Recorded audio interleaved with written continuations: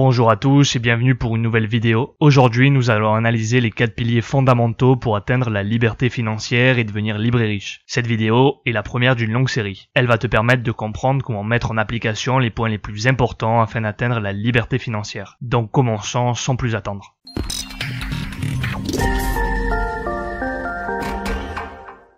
Beaucoup de personnes se demandent comment augmenter la taille de leur porte-monnaie lorsqu'elles n'investissent pas leur argent, lorsqu'elles n'ont pas d'expérience dans ce domaine. Avant même de vouloir faire fructifier ton argent, il va falloir que tes finances personnelles soient saines. Cela représentera la colonne vertébrale des quatre piliers financiers. Bien entendu, si tu n'as jamais reçu d'éducation financière, il est probable que tu sois endetté. Et dans ce cas, pour commencer, tu devras appliquer le premier pilier de la liberté financière.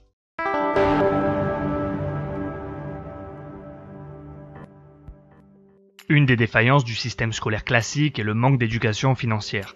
En effet, l'école enseigne de nombreuses matières qui vont plus ou moins nous être utiles une fois adultes. Mais qu'en est-il de notre enseignement sur le plan financier afin de gérer notre budget par exemple? L'éducation financière est sans aucun doute la matière la plus importante qui nous concerne à tous et ce durant les 365 jours de l'année. En effet, une personne sans éducation financière pourra gagner autant d'argent qu'elle veut, si elle ne sait pas le gérer, elle finira logiquement par tout perdre. Nombreux sont les exemples de superstars qui ont fini ruinés après avoir amassé des sommes folles. Avoir le dernier iPhone, une Ferrari ou encore une maison de prestige ne fera pas de toi une personne plus riche. La définition de la richesse va bien plus loin que le simple matérialisme. Il s'agit de la capacité d'une personne à s'autosuffire financièrement, sans travailler, sans changer ses habitudes de consommation durant X temps avec l'argent qu'elle dispose. Prenons pour exemple un couple qui gagne 10 000 euros par mois et dont les dépenses mensuelles s'élèvent à 16 000 euros, dû à ses crédits, son train de vie ou encore ses besoins. En appliquant la définition, et même s'il se sent en sécurité grâce aux deux salaires, en fait il ne survivra que 19 jours. En revanche, une personne seule qui gagne 2000 euros par mois et dont les dépenses mensuelles s'élèvent à 800 euros survivra 75 jours, c'est-à-dire 2 mois et demi. Du coup, qui est le plus riche entre les deux? Un autre point, c'est que beaucoup de personnes estiment que la seule manière de gagner de l'argent, c'est en travaillant. Bien, je ne dis pas qu'il ne faut pas avoir un travail, mais il ne doit pas être l'unique source de revenus dont la personne dispose au risque de se voir prise au piège dans la rat race qui est une course sans fin et autodestructrice. Enfin, le troisième aspect qui est déterminant dans ta quête à la liberté financière, c'est la relation que tu entretiens avec l'argent. C'est ta manière de penser qui déterminera le but que tu voudras et pourras atteindre, car tu te fixes toi-même tes propres limites. Autrement dit, une personne qui perçoit de son travail un salaire fixe de 2500 euros mensuel se programme mentalement à gagner 2500 euros et seulement 2500 euros. Il est donc nécessaire d'ouvrir ton esprit pour accueillir l'abondance et disposer des clés permettant de passer au deuxième pilier.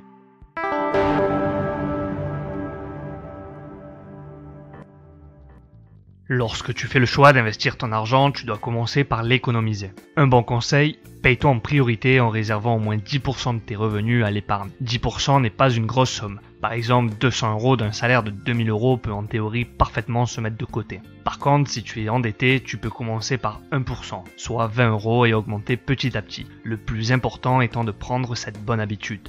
Pour pouvoir appliquer cette recommandation, tu dois contrôler tes frais afin d'équilibrer tes revenus et tes dépenses. En plus, en épargnant un peu tous les mois, tu disposes d'une réserve d'argent qui te permet une marge de manœuvre plus élevée en cas d'imprévu d'une part et d'améliorer ta situation financière d'autre part. Tout naturellement, lorsque tu commences à avoir une petite épargne, l'objectif est de l'investir pour le faire fructifier. Aussi, pour t'éclairer sur ce point, il faut connaître le troisième pilier.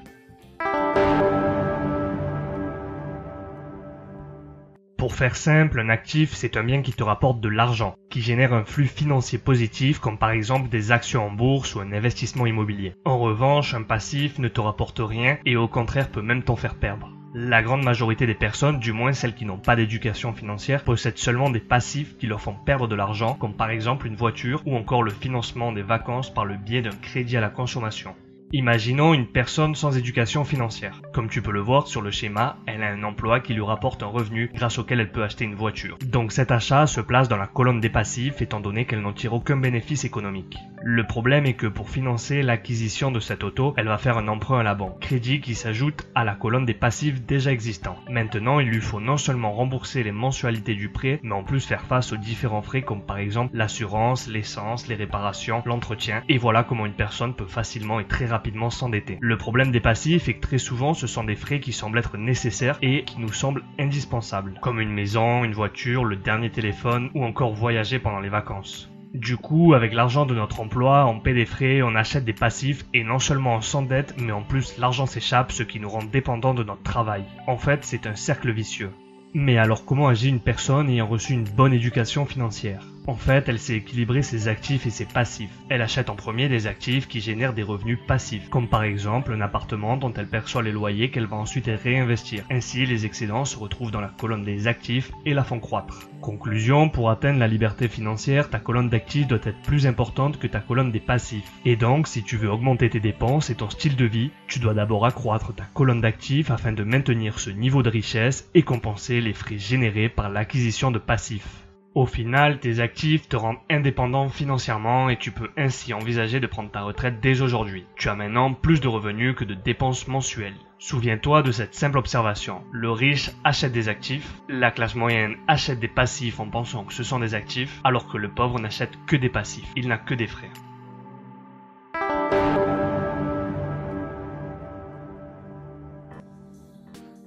Maintenant que tu connais les concepts d'actifs et de passifs, tu peux commencer à investir intelligemment. En prenant compte du caractère temporaire d'un investissement, ce dernier peut s'effectuer à court terme, moyen ou encore à long terme. Et en fonction du risque qu'il entraîne, la rente peut être fixe ou variable. On parle de rente fixe lorsque l'on connaît d'avance la rentabilité d'un investissement. Les risques sont moins élevés donc les bénéfices sont plus faibles. C'est le cas d'un compte d'épargne par exemple. En revanche, dans le cas d'une rente variable, on ne connaît pas d'avance la rentabilité puisque celle-ci peut varier. C'est donc plus risqué mais les bénéfices sont plus élevés. Le meilleur exemple reste la bourse. Généralement, plus le risque est grand et plus la rentabilité l'est aussi. Il existe quatre grandes sources d'investissement à la portée de tous. Premièrement, l'immobilier. Il est considéré comme étant stable, concret et immuable, ce qui lui confère une position de choix comme investissement. Possède l'immobilier et tu posséderas la richesse.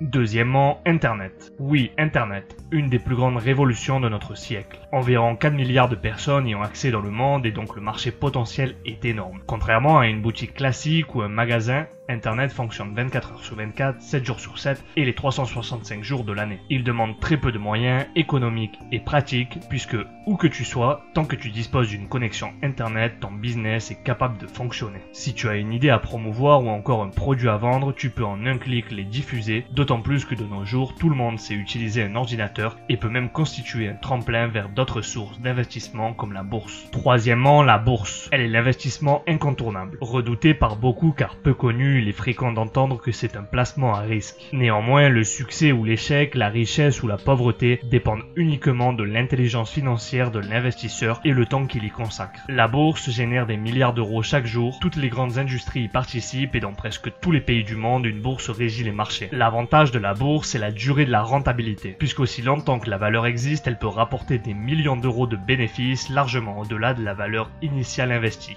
Enfin, monter sa propre affaire, être propriétaire d'une entreprise avec ce dernier investissement, tu peux engendrer des gains financiers relativement élevés en fonction du succès. Pour créer ta propre entreprise, avoir une idée de génie n'est pas indispensable. Tu peux tout simplement importer un bien intéressant qui n'existe pas dans ton pays et produire à moindre coût à l'étranger. Ou encore améliorer un bien, un service qui existe déjà. Dans notre société actuelle, dite de consommation et en perpétuelle évolution, il est nécessaire de s'adapter et pourquoi ne pas anticiper le progrès. Certes, créer sa propre entreprise requiert du temps, de l'argent et des efforts. Néanmoins, utiliser Internet comme raccourci est un bon moyen de réduire les coûts et de bénéficier du 2 en 1. Au final, tu vois qu'atteindre la liberté financière commence par une prise de conscience, une attitude à avoir vis-à-vis de l'argent afin de comprendre l'importance d'un bon équilibre entre ses actifs et ses passifs. C'est ce qui te permettra de faire fructifier ton argent et ainsi obtenir ta liberté financière. Maintenant que tu connais les quatre piliers fondamentaux, je t'invite à y réfléchir et à faire le point sur la stratégie à mettre en place. Dis-moi quels sont ceux que tu mets déjà en application, sache que je lis tous les commentaires et je me ferai un plaisir de te répondre. Le site internet librairiche.com dont tu trouveras le lien dans la description met à ta disposition d'autres sources de renseignements plus approfondis qui te seront utiles ainsi qu'une section inédite qui résume les livres les plus importants afin que tu puisses gagner un temps précieux dans ta quête à la liberté financière. J'espère que cette vidéo t'a plu, merci de l'avoir regardée. N'hésite pas à la partager si tu penses que d'autres personnes dans ton entourage ont besoin de connaître cette information. N'oublie pas de t'abonner à la chaîne, d'activer la cloche et de donner un j'aime. Tu peux aussi me suivre sur Facebook et Instagram pour continuer à avoir plus de renseignements de motivation. Et rappelle-toi que la différence entre ce que tu es et ce que tu veux être réside dans ce que tu fais. Deviens libre et riche.